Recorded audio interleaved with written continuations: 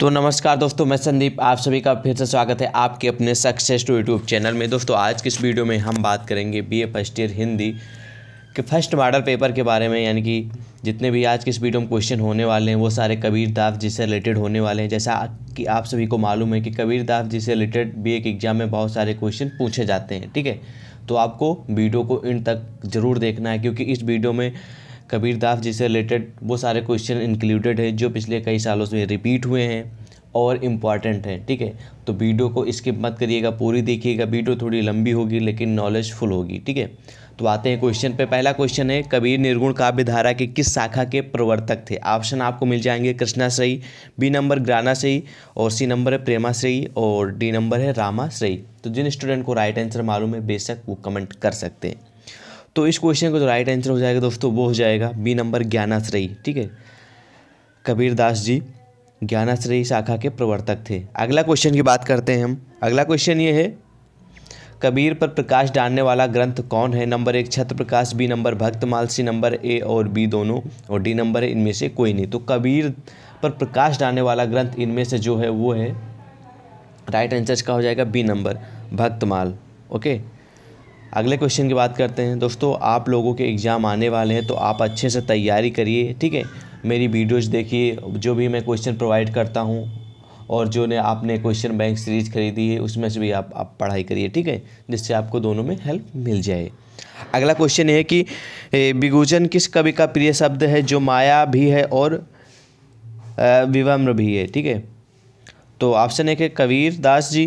और B number Tulsidas ji, C number Dharmdas ji और D number है रसखान तो जो बिगुचन है वो शब्द है, माया भी है और विभम्र भी है, भम्र भी है। तो ये जो प्रिय शब्द है वो श्री कबीर दास जी का है। राइट आंसर इसका हो जाएगा ए नंबर ओके जो भी इंपॉर्टेंट क्वेश्चन लगे, बेशक आप उसे स्क्रीनशॉट या नोट डाउन ज़रूर करिएगा, ठीक है?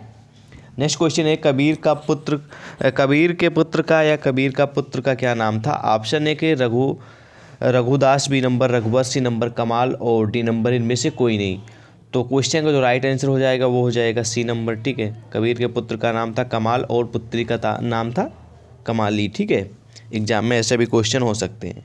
तो आप, पुत्र का नाम कमाल और बिट यानी कि लड़की का नाम, पुत्री का नाम कमाली था, ओके? अगला क्वेश्चन है कबीरदास जी का देहांत कब हुआ था? नंबर एक है उन्नीस सौ अस्सी सॉरी सोलह सौ अस्सी, बी नंबर है सत्रह सौ अट्ठावन और सी नंबर है पंद्रह सौ सात और डी नंबर है पंद्रह सौ अट्ठारह।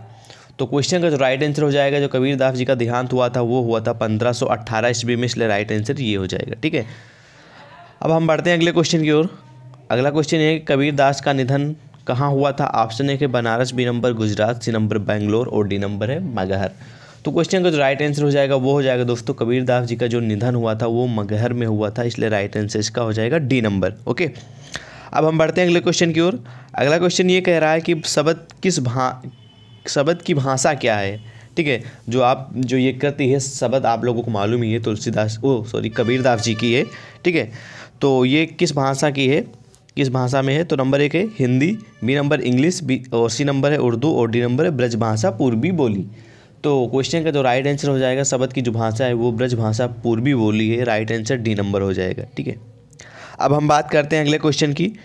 अगला क्वेश्चन ये कह रहा कि निम्न में कबीर की बनियों का सबसे प्राचीन नमूना कहाँ मिलता है? नंबर एक है ग्रंथ में बी नंबर महाभारत में, और सी नंबर रामायण में डी नंबर गुरु ग्रंथ साहिब में।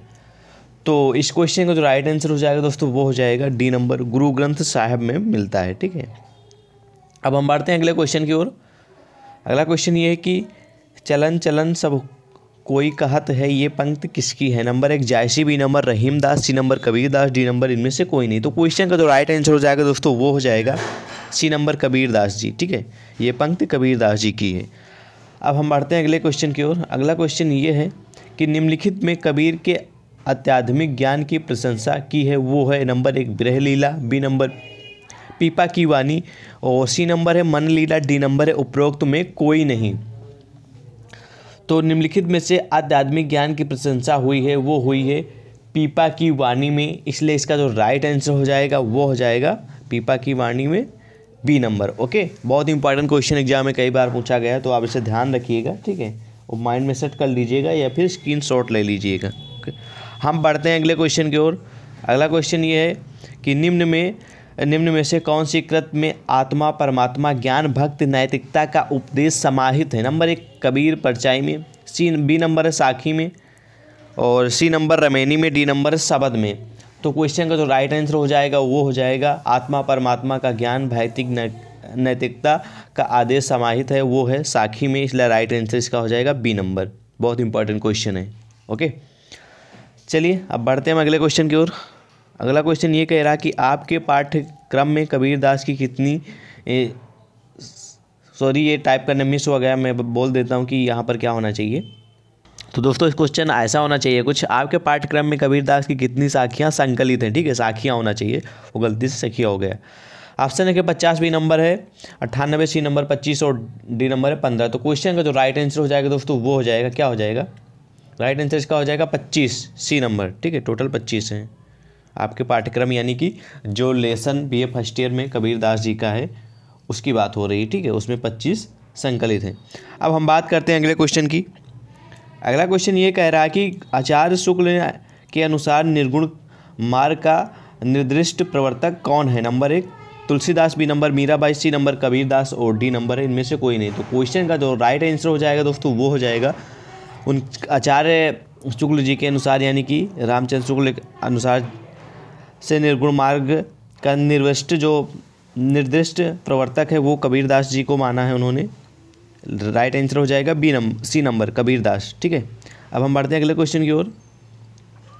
अगला क्वेश्चन है कि कबीर के काव्य में उपलब्ध कुंडलियाँ योग के शब्द किसके प्रभाव से ग्रहित हैं? नंबर एक, Jain man B number Nath Panth C number है, सिद्ध मत और डी नंबर इनमें से कोई नहीं। तो क्वेश्चन का जो राइट आंसर हो जाएगा दोस्तों, वो हो जाएगा बी नंबर ठीक है, नाथ पंत। अब हम बढ़ते हैं अगले क्वेश्चन की ओर। अगला क्वेश्चन ये कि कबीर को भाषा का डिटेक्टर किसने कहा? नंबर एक, रामचंद्र शुक्ल ने बी नंबर रैदास ने सी नंबर हजाई प्रसाद ने और डी नंबर जायसी ने।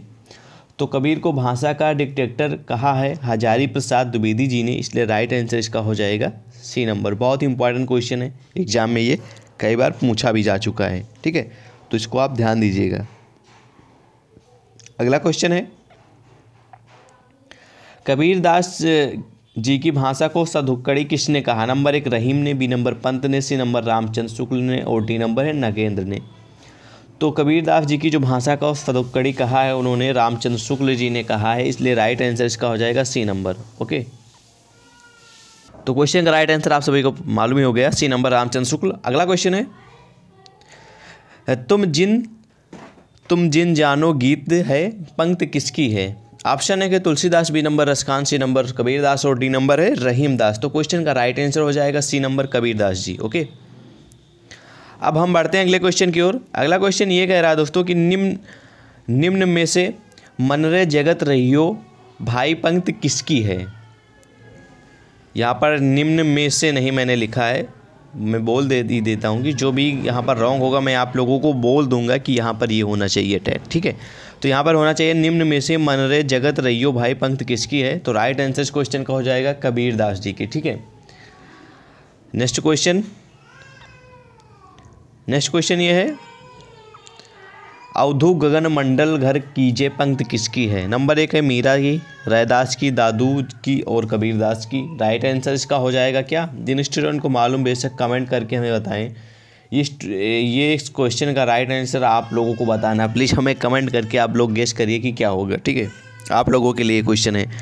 अगला क्वेश्चन है, कबीर हिंदी साहित्य के किस काल के कवि थे? नंबर एक आदिकाल, बी नंबर छायावादी काल, सी नंबर भक्ति काल और डी नंबर है रीतिकाल। बहुत ही इंपॉर्टेंट क्वेश्चन है दोस्तों ये वाला। तो आप इसे रट ही लीजिएगा। एग्ज़ाम में कई बार पूछा जा चुका है। तो कबीर दास जी हिंदी साहित्य के भक्ति काल के कवि थे। इसलिए इसका राइट आंसर हो जाएगा सी नंबर ओके अब हम बढ़ते हैं अगले क्वेश्चन की ओर। अगला क्वेश्चन ये कह रहा है कि निम्न में कबीर की वाणी का संग्रह किसमें था? नंबर एक शब्द में। बी नंबर है रामायण में, सी नंबर है बीजक में और डी नंबर है इनमें से कोई नहीं। तो क्वेश्चन का राइट आंसर हो जाएगा सी नंबर बीजक में, वाणी का संग्रह था ओके अब हम बात करते हैं नेक्स्ट क्वेश्चन की। नेक्स्ट क्वेश्चन ये कि कबीर दास जी किस जात के थे? नंबर एक दुनिया बी नंबर जुलाहा, सी नंबर दर्जी और डी नंबर इनमें से कोई नहीं। तो जो क्वेश्चन का राइट आंसर हो जाएगा वो हो जाएगा बी नंबर, कबीर दास जी जुलाहा जात के थे ओके अगला क्वेश्चन है कबीर दास के प्रमुख शिष्य कौन थे? नंबर एक Raidas B number Dharmdas C number Raskhan D number है देव। तो क्वेश्चन का जो राइट आंसर हो जाएगा कबीरदास के प्रमुख शिष्य थे धर्मदास राइट आंसर भी हो जाएगा बी नंबर ओके दोस्तों आ, कुछ दिन पहले मैंने एक वीडियो अपलोड की थी जो कबीरदास जी से रिलेटेड थी। उसमें कुछ ही क्वेश्चन थे शायद बीस उस क्वेश्चन थे लेकिन इस वीडियो मैंने सोचा कि कबीर दास जी से रिलेटेड बहुत सारे एग्ज़ाम में क्वेश्चन पूछे जाते हैं तो और भी क्वेश्चन मुझे बना के आप तक प्रोवाइड करना चाहिए, ठीक है? जिससे आपको हेल्प मिले। तो मैंने वही फाइनली किया है। उसमें वीडियो मैंने कबीर दास जी से रिलेटेड लगभग बीस उस क्वेश्चन बताए थे, लेकिन इस वीडियो में बहुत सारे क्वेश्चन हैं, जैसा कि आप देख ही रहे हैं। वीडियो को अगर आप अभी भी देख रहे हैं तो प्लीज़ वीडियो को एंड तक देखिएगा, क्योंकि जिस रिस्पॉन्सिबिलिटी के साथ, मेहनत के साथ मैं वीडियो बनाता हूँ क्वेश्चन क्रिएट करता हूँ, आप लोगों तक प्रोवाइड करता हूँ तो भी आप भी की रिस्पॉन्सिबिलिटी बनती है कि वीडियो को पूरी देखें, क्योंकि आपके हेल्प के लिए ही मैं वीडियो बनाता हूँ। ठीक है? आ जाते हैं क्वेश्चन पे। कबीरदास का जन्म कब हुआ था? नंबर एक है चौदह बी नंबर है पंद्रह सौ पचास सी नंबर है तेरह सौ अट्ठानबे और डी नंबर है सोलह सौ। तो क्वेश्चन का राइट आंसर जिन स्टूडेंट को मालूम, बेशक कमेंट करके बताएँ। राइट आंसर इसका हो जाएगा सी नंबर तेरह सौ अट्ठानबे में कबीरदास जी का जन्म हुआ था। हालाँकि बहुत सारे कबीरदास जी के जन्म के मतभेद हैं, बहुत सारे कवि कहाँ मानते हैं, किस सन में मानते हैं, सबके अपने अपने अकॉर्डिंग जन्म उनकी तिथि हैं और उनके स्थान हैं, लेकिन जो ज़्यादा जर्नली है वो तेरह सौ अट्ठानबे है, ठीक है। अगला क्वेश्चन है, बीजक के कितने भाग हैं? नंबर एक है आठ, बी नंबर है चार और सी नंबर है तीन और डी नंबर सात। बीजक कबीरदास जी की बहुत ही प्रमुख, या आप कहते हैं कि बहुत ही प्रिय कृति है या संग संग या आप कह सकते हैं पूरा एक ए, इनकी रचना है ठीक है? तो उसके कितने भाग हैं? तो बीजक के टोटल तीन भाग हैं। आपने इस वीडियो में जाना ही है सखत सॉरी साखी सबद रमैनी। बीजक के तीन पार्ट हैं साखी सबद रमैनी। इनसे रिलेटेड आपको आपके एग्ज़ाम में क्वेश्चन देखने को मिलेंगे हंड्रेड परसेंट के साथ ठीक है? तो राइट आंसर सी नंबर हो जाएगा तीन। अब हम बढ़ते हैं अगले क्वेश्चन की ओर। नंबर एक है निम्न अगला क्वेश्चन है कि निम्न में से कबीर पंथ के प्रवर्तक कौन थे? नंबर एक है तुलसीदास, रहीमदास कबीर दास और डी नंबर है केशव दास तो क्वेश्चन का जो राइट आंसर हो जाएगा, वो हो जाएगा C number Kabir Das okay Kabir पंथ के प्रवर्तक कबीर दास जी ही स्वयं थे। अगला क्वेश्चन है, बेगम देश को कबीर और क्या नाम देते थे? नंबर एक है अमरपुर, बी नंबर है एमपुर, सी नंबर है सीतापुर और डी नंबर है स्वर्गपुर। तो क्वेश्चन का जो राइट आंसर हो जाएगा, बेगम देश को कबीर दास जी अमरपुर नाम देते थे, इसलिए राइट आंसर ए नंबर हो जाएगा। ओके अब हम बढ़ते हैं अगले क्वेश्चन की ओर। अगला क्वेश्चन ये है, अगला क्वेश्चन ये कि कबीर किस शासक द्वारा अनेक बार प्रदंडित हुए? नंबर एक सिकंदर लोधी बी नंबर अकबर और C number Birbal D number है शेर शाह सूरी। तो कबीर दास जी सिकंदर लोधी द्वारा अनेक बार प्रतंडित हुए हैं इसलिए राइट आंसर इसका हो जाएगा ए नंबर ओके अगला क्वेश्चन है गह, गहना एक कनक ते गहना ये पंक्ति किसकी है? तो राइट आंसर इस क्वेश्चन का आप लोगों को मालूम ही होगा हो जाएगा डी नंबर कबीर दास जी।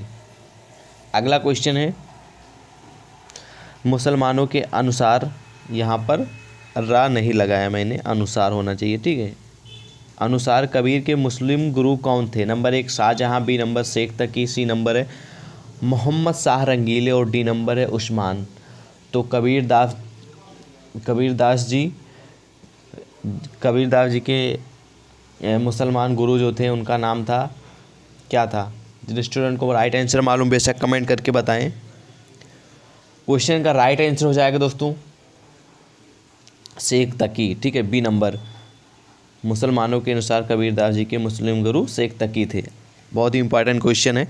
अगला क्वेश्चन है, कबीर के पिता का क्या नाम था? नंबर एक, दशरथ बी नंबर नीरू और सी नंबर नंद और डी नंबर है बलवान। तो क्वेश्चन का जो राइट आंसर हो जाएगा दोस्तों, वो हो जाएगा कबीरदास जी के पिता का नाम था Niru. Right answer B number हो जाएगा, ठीक है? अब हम बात करते हैं अगले क्वेश्चन की ओर। बढ़ते हैं। अगला क्वेश्चन क्या है? अगला क्वेश्चन है कि कबीर की जीवनी पर प्रकाश डालने वाला ग्रंथ, नंबर एक ब्रह लीला, बी नंबर शबद और सी नंबर है कबीर परचई, और डी नंबर इनमें से सभी। तो कबीरदास जी के जीवन पर प्रकाश डालने वाला जो ग्रंथ है, वो है कबीर परचई, इसलिए राइट आंसर हो जाएगा सी नंबर बहुत इंपॉर्टेंट क्वेश्चन है, इसे आप ध्यान रखिएगा। अब हम बढ़ते हैं अगले क्वेश्चन की ओर। बीजेक किस सन में संकलित हुआ था? नंबर एक है पंद्रह सौ दस, बी नंबर है सोलह सौ अस्सी नंबर है चौदह सौ चौंसठ, और डी नंबर है पंद्रह सौ पचास। तो बीजक जो संकलित हुआ था, वो सन था चौदह सौ चौंसठ का, इसलिए राइट आंसर इस क्वेश्चन का हो जाएगा सी नंबर ओके ध्यान दीजिएगा, बहुत ही इंपॉर्टेंट क्वेश्चन है। बीजक सन चौदह सौ चौंसठ ईस्वी में संकलित हुआ था। अगला क्वेश्चन है, साखी किस भाषा में नंबर एक गुजराती, बी नंबर राजस्थानी, पंजाबी मिली खाड़ी बोली और सी नंबर नेपाली और डी नंबर है फारसी। तो क्वेश्चन का राइट आंसर हो जाएगा, साकी राजस्थानी पंजाबी मिली, खड़ी बोली में है राइट आंसर बी नंबर हो जाएगा। अब हम बात करते हैं अगले क्वेश्चन की ओर। क्वेश्चन ये अगला कि निम्न में से साकी में कौन सा छंद प्रयुक्त है? तो क्वेश्चन का जो राइट आंसर हो जाएगा, वो हो जाएगा डी नंबर दोहा ओके अब हम बात करते हैं अगले क्वेश्चन की ओर। अगला क्वेश्चन है कि कबीर दास के गुरु का क्या नाम था? ऑप्शन एक है नरिहर दास बी नंबर रामानंद और सी नंबर रामानुज और डी नंबर है रायदास। तो कबीर दास जी के जो गुरु का नाम आपने ऊपर पढ़ा था, मुसलमानों के अनुसार जो मुस्लिम के, मुस्लिम गुरु थे वो शेख। कौन थे? शेख तकी थे, ठीक है? उसके बाद कबीर दास जी के जो गुरु थे, गुरु का क्या नाम था? इस क्वेश्चन का राइट आंसर हो जाएगा बी नंबर रामानंद। बहुत इंपॉर्टेंट क्वेश्चन है तो ध्यान दीजिएगा इन क्वेश्चनों पर ओके अगला क्वेश्चन है निम्न में बीजक का संग्रह कबीर के कौन से शिष्य ने की थी? नंबर एक, Dharmdas, B number, Raidas, C number है पीपा, और डी नंबर है धन्ना बहुत इंपॉर्टेंट क्वेश्चन ये भी बहुत ज़्यादा ही मोस्ट इंपॉर्टेंट है कि निम्न में से बीजक का संग्रह कबीर के कौन से शिष्य ने की थी? तो क्वेश्चन का राइट आंसर हो जाएगा धर्मदास ए नंबर ओके अगला क्वेश्चन है। निम्नलिखित में से शब्द का मतलब क्या है? नंबर एक, स्वर्ण, बी नंबर शब्दंद और सी नंबर, शब्द, और डी नंबर, शब्दकोश। तो निम्नलिखित में से शब्द का जो मतलब है वो है शब्द से, इसलिए राइट आंसर इसका हो जाएगा सी नंबर ओके अब हम बात करते हैं अगले क्वेश्चन की। अगला क्वेश्चन ये है कि कबीर की पत्नी का क्या नाम था? नंबर एक नंदिनी बी नंबर उपमा और सी नंबर है रीमा और डी नंबर है लोई। तो कब, कबीर की पत्नी का नाम था लोई, इसलिए राइट आंसर इसका हो जाएगा डी नंबर ओके अब बढ़ते हैं अगले क्वेश्चन की ओर। अगला क्वेश्चन ये कह रहा है कबीर पंथ का निर्माण इनमें से किस सिद्धांत से हुआ था? किस सिद्धांत से हुआ था? ऑप्शन ए के धर्म, बी नंबर आराधना, और सी नंबर है भारतीय ब्रह्मवाद, और डी नंबर है विरह। तो क्वेश्चन का जो राइट आंसर हो जाएगा, कबीर पंथ का निर्माण भारतीय ब्रह्मवाद के सिद्धांत से हुआ था। राइट आंसर हो जाएगा C number okay important question ये भी है। अब हम बढ़ते हैं अगले क्वेश्चन की ओर। अगला क्वेश्चन है कि हमन है इश्क मस्ताना पंक्त किसकी है? नंबर एक, हरी। हरिहर दास की बी नंबर, नरिहर दास की सी नंबर, बिहारी जी की और डी नंबर है कबीर कबीर दास जी की। हमन है इश्क मस्ताना ये पंक्ति, कबीर दास जी की है राइट आंसर इसका हो जाएगा डी नंबर, ओके? अब हम बात करते हैं अगले क्वेश्चन की। अगला क्वेश्चन ये कह रहा है कि निम्नलिखित में से कबीर ने अपने काव्य में श्रेष्ठ किसे माना है? नंबर एक गुरु को, बी नंबर बहन को, सी नंबर पुत्र को और डी नंबर है पत्नी को। तो कबीर दास जी ने, ठीक है, अपने काव्य में जो सबसे श्रेष्ठ माना है, वो अपने गुरु को माना है। ठीक है, इसलिए राइट आंसर इसका हो जाएगा ए नंबर बहुत ही इंपॉर्टेंट क्वेश्चन है ये भी। अब हम बढ़ते हैं अगले क्वेश्चन की ओर। अगला क्वेश्चन ये है कि निम्न में कबीर की उलट बांसियों बांसियों में कौन सा रस प्रमुख है? उलट बांसियों में से कौन सा रस प्रमुख है? नंबर एक, शांत बी नंबर वियोग, और सी नंबर है संयोग, और डी नंबर है इनमें से कोई नहीं। तो क्वेश्चन का जो राइट आंसर हो जाएगा, वो हो जाएगा ए नंबर शांत रस। ओके? A number. शांत रस अब हम बढ़ते हैं अगले क्वेश्चन की ओर। निम्न में कबीर का संबंध किससे है? नंबर एक, द्वैतवाद, बी नंबर, अद्वैतवाद, सी नंबर, अभेदवाद, और डी नंबर है शुद्धा द्वैतवाद तो निम्न में से कबीर का जो संबंध है, वो है अद्वैतवाद से, इसलिए क्वेश्चन का जो राइट आंसर हो जाएगा, बी नंबर हो जाएगा। ये भी क्वेश्चन बहुत ही इंपॉर्टेंट है, ठीक है? अब हम बढ़ते हैं अगले क्वेश्चन की ओर।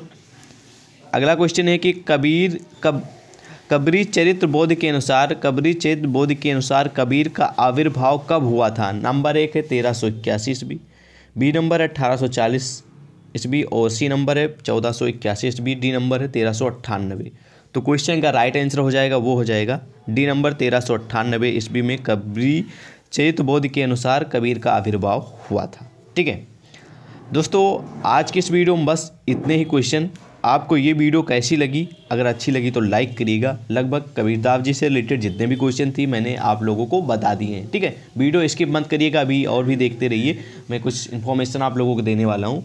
जितने भी क्वेश्चन मुझे इंपॉर्टेंट लगे, मैंने कबीरदास जी के इसमें बता दिए और भी क्वेश्चन कबीरदास जी से रिलेटेड बन रहे थे, जिनको मैंने पीडीएफ और वेबसाइट पे डाल दिया है। वीडियो के डिस्क्रिप्शन में वेबसाइट का लिंक है। आपको पता ही website Sandeep info dot com please उस पर क्लिक करिए। डिस्क्रिप्शन में लिंक है और वेबसाइट पर डायरेक्ट हो जाइए। वहाँ पर बहुत सारे कबीरदास जी से रिलेटेड और भी क्वेश्चन आपको देखने को मिलेंगे। और भी कवि से रिलेटेड लेखक से रिलेटेड आपको क्वेश्चन देखने को मिलेंगे। तो आप वो सारे क्वेश्चन पढ़िए। वहाँ से भी आप पढ़ाई करिए। आपको काफ़ी हेल्प मिलेगी एग्ज़ाम के लिए। ठीक है? तो ये वीडियो आपको कैसी लगी? अच्छी लगी तो लाइक करिएगा। अगर आप इसी तरह की और भी वीडियो चाहते हैं तो कमेंट करिए। प्रत्येक दिन हमारी जो क्लासेज हैं, वो शाम को सात बजे के बाद अपलोड हो जाती हैं। तो प्लीज़ क्लासेज आप ज्वाइन करिए, ठीक है? और वीडियो के डिस्कशन मेरा व्हाट्सअप ग्रुप है, जिससे ज्वाइन हो जाइए। मैं डेली उस पर भी कुछ ना कुछ क्वेश्चन आप लोगों को क्वेश्चन और आंसर दोनों प्रोवाइड कर देता हूँ पीडीएफ के रूप में। तो लिंक वीडियो के डिस्कशन में है व्हाट्सअप ग्रुप का भी। तो ज्वाइन हो जाइए, ठीक है? तो मिलते, आज की इस वीडियो में बस इतना ही। मिलते हैं आपको किसी नेक्स्ट वीडियो में। तब तक के लिए बाय बाय दोस्तों।